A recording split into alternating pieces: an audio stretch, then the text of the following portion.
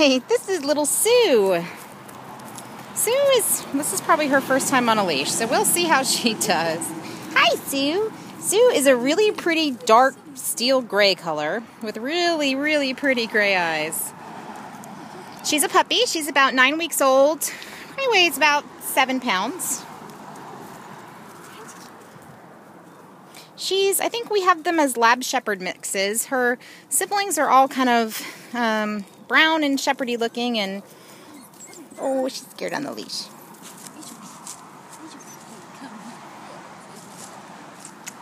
Show everybody your pretty He has face. such pretty eyes. He is.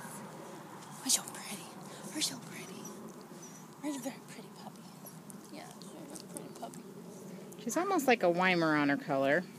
And she has Weimaraner color eyes, so, you know, there could be some of that in there too.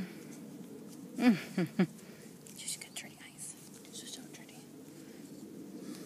She came from our local animal control. She, um, we have a very high euthanasia rate here, so she was lucky to make it out with her siblings. They were named after the Fantastic Four, so this is Susan Storm. Or Sue. Is that her name? Sue. But is that her? Is that Susan Storm? That's her Hi. name, Sue. Hi. Oh, She is a typical happy puppy. Loves attention, loves people. Yes. She'll need, of course, you know, obedience training and everything that comes along with having a puppy.